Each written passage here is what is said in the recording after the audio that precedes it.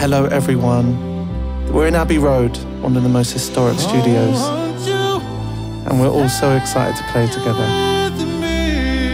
Tonight, I'm going to be singing some songs from my third album. It's called Love Goes.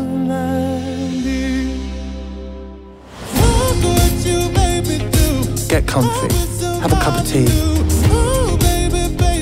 I hope you enjoy. This album, for me, is this celebration of coming home to myself and a moment of self discovery. I